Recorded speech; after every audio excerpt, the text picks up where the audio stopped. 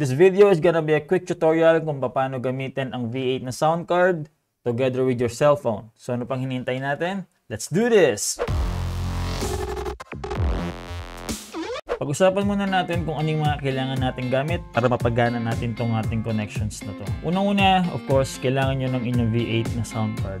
Next, kailangan nyo ng kable na to, itong 3.5mm na jack together with the micro USB end. Depende sa kung anong gusto nyo gawin, pwedeng isang ganito or pwedeng dalawa or actually pwedeng tatlong ganito yung kakailanganin niyo. Next, kailangan nyo ng mic. Ito yung mic na gagamitin natin for this. And then, kailangan nyo rin ng headphones. Katulad ng ganito. And then, lastly, kailangan nyo ng cellphone. Either isang cellphone or dalawang cellphone or tatlong cellphone ang gagamitin nyo. Again, depende sa kung uh, anong gusto nyo gawin na setup.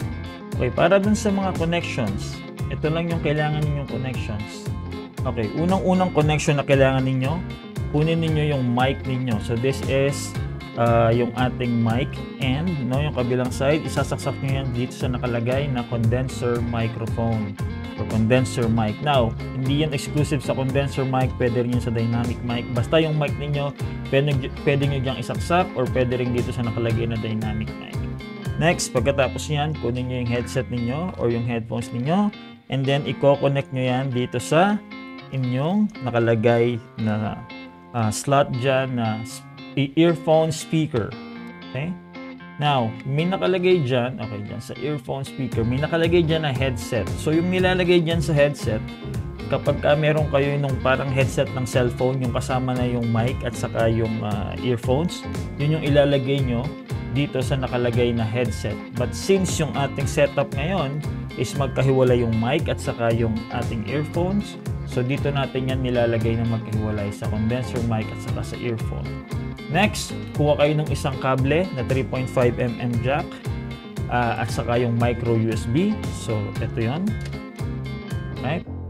So, itong unang connection na gagamitin natin or gagawin, dito nyo ilalagay sa live 1. Now, yung live 1, live 2, dyan nyo ilalagay yung mga connections ninyo kung saan, kung saan kayo magre-record or mag stream So, for example, in this case, dito ko muna ilalagay sa live 1 yung isa nito.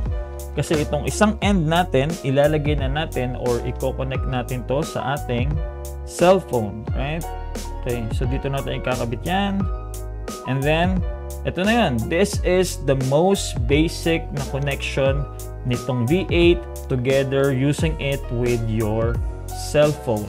Now, sabi natin kanina, baka dalawang ganitong cable yung gamitin natin. And the reason why we wanna do that is gusto natin, kunyari, for example, gusto ninyong magkaroon ng parang accompaniment sound or, uh, you know, kunyari, video kayo content na ginagawa ninyo or um, gusto niyo lang is ng iyo pang background music habang nag stream kayo so you may have uh, you may need another device so in this case gagamit tayo ng isa pang device ng isa pang cellphone so I'm gonna use my iPhone for that So, kunyari, yung gagamitin nyo lang yung inyong iPhone or isa pang device para maging source ng music. So, ang gagawin natin, so, uh, inilagyan ko pala yung iPhone ko ng connector kasi walang direct ng connection niya nung para sa 3.5mm.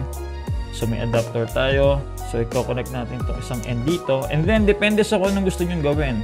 Kung mag stream din kayo dito sa isang phone, no? kung mag stream din kayo dito sa cellphone, dito nyo siya ilalagay sa live 2. I-connect nyo itong kable na to isa pa sa live 2. Okay?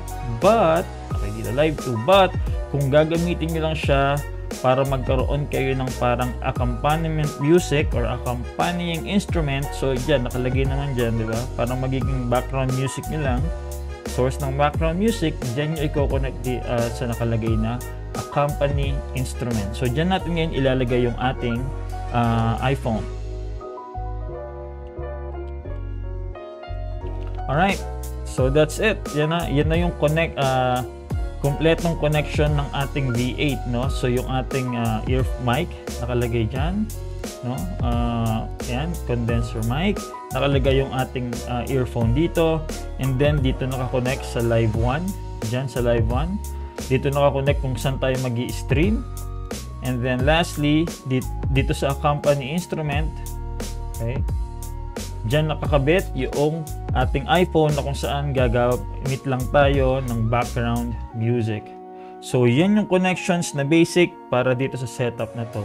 So, ngayon, yung next natin gagawin, dito na tayo magre-record sa ating cellphone gamit itong V8 na setup na to para uh, mapakita natin na gumagana yung setup natin. Okay? Okay, so ngayon dito na tayo nagre-record sa ating uh, cellphone. Uh, so actually, papakita natin doon sa isang shot. No? Ayan.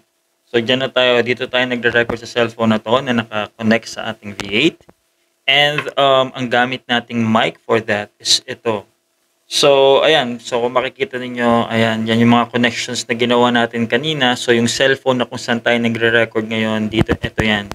Diyan siya nakakonect sa live 1. So, just to prove na dito tayo nagre-record ngayon sa ating V8, ngayon medyo mababa yung echo natin. So, tataasan natin yung echo. Ayan, echo sound check. So, yan. Lumakas yung echo nung in-adjust natin dito uh, coming from V8. And then, uh, pwede rin tayong gumamit ng mga parang sound effects dito. Uh, warning lang, medyo malakas siya. So, uh, may hinaan nyo yung volume nyo. Okay, hinaan nyo muna bago ko pindutin. So, yun, isa, no? isang effect, pay attention, and then uh, meron din tayong someone, song 2, uh, and then some other effects, vocals, no? And uh, of course, yung, let's say, yung uh, pitch blend. Hello, sound check. Yan, ang bago. Sound check. Hello, sound check. Yan, tunog, parang tunog soko, di ba? Hello, sound check. Yan, maliit na boses.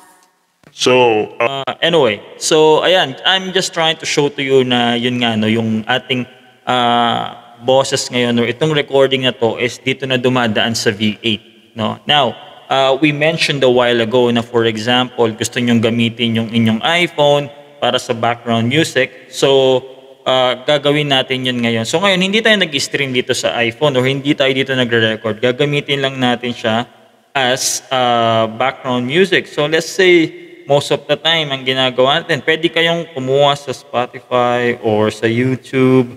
Just make sure na hindi yung mga music musical background ang gagamitin nyo may copyright para hindi maging problema sa ano nyo sa sa recording nyo kasi baka copyright strike pa kayo. But anyway, so let's just say no right now. So ayan. So this is uh, I'm coming off from Spotify right now and uh, this is a music by Joaquim Karud. So ano naman yan kay Joaquim Karud? Uh, royalty free music yan. So pwede yan. Uh, but anyway, what I'm trying to show to you here is uh, yun nga, yun yung purpose nun. Kung gusto nyo lang magkaroon ng background music, dun nyo siya i-connect sa accompany instrument. And of course, you can adjust yung volume niyan. Pwede nyong palakasin, pwede nyong pahinain uh, via sa V8 din. Di ba? So, ayan. So, kung yung content nyo is video okay, pwede kayong maghanap ng uh, video okay na song or uh, no, sa YouTube or ano na, pwede yung sabayan. Huwag lang sana kayong makopyright strike. Di ba? so, yeah. So, of course, habang tumutugtog yung background music, pwede pa rin kayong uh, magpatugtog ng mga or gumamit ng mga effects, di ba? Uh, Ayan, baka malakas. So, ayan. Uh, yan na yun, no? That's it. That's how you make your uh, V8 work. Get with your cell phone by the cellphone and nyo rin background music galing sa ibang cellphone or let's just say galing sa uh, iba pang device. Okay? Okay, balik na tayo dito sa recording na to. So hindi na hindi ako sa V8 ngayon nagre-record and sa ako sa ano to sa computer ko na to nagre-record. But yeah, but that's it, no. Yan na yung uh, paraan niya or yan na yung mga connections na kailangan niyo para mapagana niyo yung V8 together with your cellphone and kapag gusto niyo rin ng uh, may background music kayo using other devices. Be it another phone, pwede ring tablet, or actually pwede rin yan kahit sa laptop ninyo i-connect. So one last thing pala regarding this V8 na sound card do, mas maganda na gamitin nyo siya ng fully charged. Huwag nyo siyang gagamitin habang china-charge. Okay? So, the battery to, uh, tandaan nyo, the battery to, so pwede nyo siyang i-charge muna bago ninyo gamitin. Sabi ng manufacturers nito, kapag ginagamit nyo siya habang kina-charge, minsan nakakadagdag yon doon sa parang hindi magandang ah, quality ng sound na na-produce niya. And also at the same time, kapag low bat din siya, ah, sabi ng manufacturer, hindi rin ganun kaganda yung lalabas na sound. So, just make sure it's fully charged before you use it. Okay? Alright, so dyan na tayo nagtatapos. Sana nakatulong tayo. Sana ah, na-fix nyo na yung connections na kailangan ninyong gawin dyan sa V8 niyo para mapagana nyo just in case ah, nagkakaroon pa kayo ng mga problema. Okay, so dyan na muna tayo nagtatapos. Maraming salamat sa inyong panonood. Again, this is Kamotek Reviews.